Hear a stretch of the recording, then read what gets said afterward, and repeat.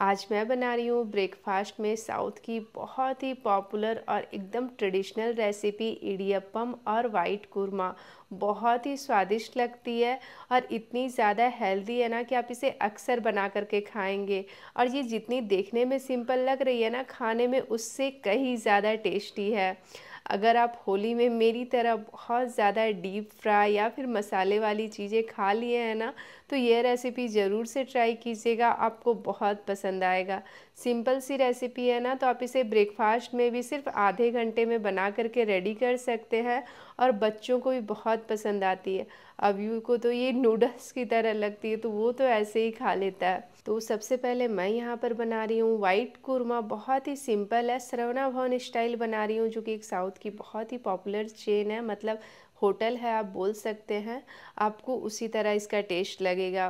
तो सबसे पहले मैंने यहाँ पर लिए एक आलू, जिसे मैंने यहाँ पर छोटे छोटे टुकड़ों में काट लिया है, साथ ही एक गाजर ली है, उसे भी मैंने इसी तरह से मतलब छोटे छोटे टुकड़ों में कर लिया है। कुछ बीन्स लिया है, तकरीबन सात आठ उसे भी मैंने यहाँ पर छोटा छोटा चॉप कर लिया है। क्या करेंगे? कुकर लेंगे और यहाँ पर आलू बीन्स और गाजर। ये सारी चीज़ें इसमें ऐड कर देंगे और इसे बॉईल करेंगे। तो आप चाहें तो किसी पतीले में भी कर सकते हैं या फिर मेरी तरह एक सीटी लगा सकते हैं। इससे बहुत ही जल्दी से ये रेडी हो जाते हैं। तो एक कप मैंने यहाँ पर पानी ऐड किया साथ ही एक चम्मच नमक और क्या करेंगे ना कि इसे हाई फ्लेम पे सिर्फ़ एक विसल आने तक के लिए पका लेना है। और अभी मैं इधर तैयारी कर रही हूँ इडियप्पम की। तो इधर साउथ के साइड अगर आप कहीं भी घूमने जाएँगे होम स्टे वगैरह में रुकेंगे होटल वगैरह में रुकेंगे ना तो उधर ना ये रेसिपी ज़्यादा आपको खाने के लिए मिलेगी। इडियप्पम, अप्पम, पुंडू बहुत स्वादिष्ट लगती है, साथ ही साथ हेल्दी भी होती है। तो मैंने यहाँ पर डेढ़ कप पानी लिया। खैर, इतना पानी लगेगा नहीं, वो मैं आगे बता दूँगी कितना लगेगा। एक पतीला ले लिया या फिर कोई बाउल ले लें।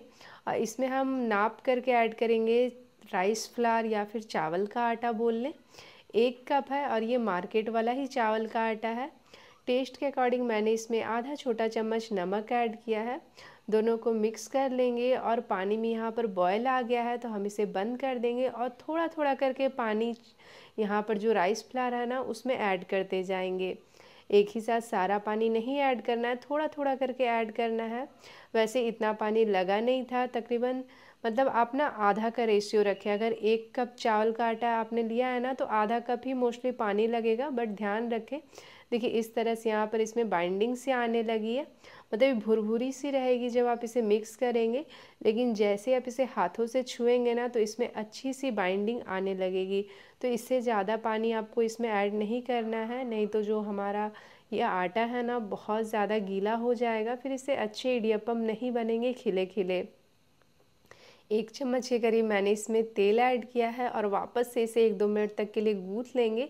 देखिए, यहाँ पर आटे को ना एकदम सॉफ्ट लगा करके तैयार करना है, बहुत ज़्यादा टाइट भी नहीं करना और बहुत लूज़ भी नहीं रखना है। आटा लग गया है तो इसे ढक के रख देंगे, पाँच मिनट तक के लिए, तब तक के लिए इधर बना लेते हैं वाइट कूरमा।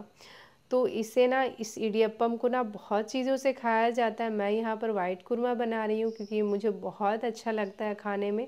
और इस वाइट कुरमे को ना आप सेट डोसा या फिर पूरी, पराठा किसी के साथ भी सर्व कर सकते हैं। इधर तो बहुत सारी चीज़ों में ये मिलता है अच्छा भी लगता है खाने में।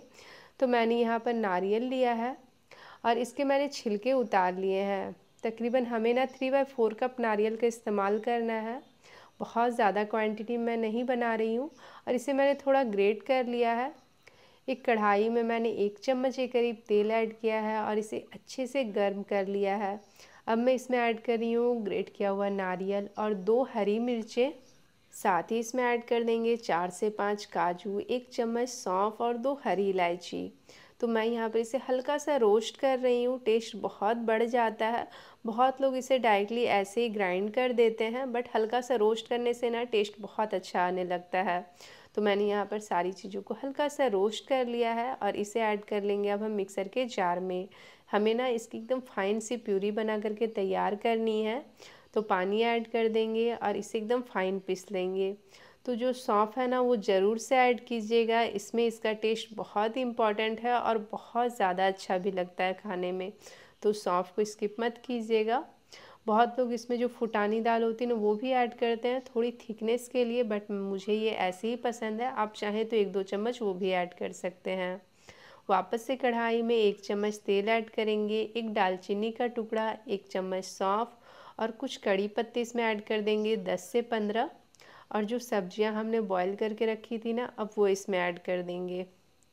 तो आप इसमें मनपसंद की सब्ज़ियाँ और भी ऐड कर सकते हैं। मैं यहाँ पर थोड़ा सा ऐड कर रही हूँ फूल गोभी जिसे कि मैंने पहले ही बॉईल करके रखा हुआ था। ये मैं ऑलरेडी फूल गोभी को जब भी लेकर के आती हूँ ना तो मैं इसे क्लीन करके और हल्का सा ब्लांच करके रख देती हूँ, ताकि मुझे जब यूज़ करना हो ना तो मैं आराम से यूज़ कर सकूँ। और इधर मैंने लिया फ्रोजन वाले मटर। ये वन बाई फोर कप के करीब है और साथ ही गोभी को भी मैंने इसमें ऐड कर दिया है। एक बॉयल आ जाएगा ना तो हमने जो ग्रेवी बना करके रखी थी ना, वो इसमें ऐड कर देंगे वाइट वाली। बेसिकली इसे नारियल की ग्रेवी में ही बनाया जाता है, इससे टेस्ट बहुत ज़्यादा बढ़ जाता है। आप ना इसे राइस के साथ भी खा सकते हैं, बहुत यमी लगता है। थोड़ा सा पानी मैंने मिक्सर के जार में भी ऐड कर दिया था और इसमें हम ऐड कर देंगे। जितनी ग्रेवी आपको रखनी हो, उस हिसाब से आप इसमें पानी ऐड कर लीजिएगा। थोड़ा सा मैंने इसमें नमक ऐड किया और कुछ कड़ी पत्ते लास्ट में, जिससे इसका टेस्ट और बढ़ जाएगा मतलब अच्छी खुशबू आने लगती है। और हमारा यहाँ पर वाइट कुरमा बन कर के तैयार है। बहुत कम मतलब एक दो चम्मच तेल और बिना मसाले वाली ये ग्रेवी आप ट्राई कीजिएगा, बहुत पसंद आएगा। अब बना लेते हैं इडियप्पम। तो मैं यहाँ पर इसे इडली स्टैंड में बना रही हूँ। आप चाहें तो किसी भी प्लेट में बना सकते हैं। इडली स्टैंड में ये थोड़ी छोटी छोटी बनती है तो जो भी पसंद हो आपको साइज़ उसमें आप बना सकते हैं। ये मैंने सेव बनाने वाला मोल्ड ले लिया है। तो इसी से ये बनेगा। अगर आपके पास हो ना तो ये जो बारीक वाली छन्नी होती है ना, उसी का इस्तेमाल कीजिएगा। जो हमने आटा गूँथ के रखा था ना, वो इसमें ऐड कर देंगे। थोड़ा सा सिलेंडर का सेप देते हुए इसे ऐड कर दें इसमें।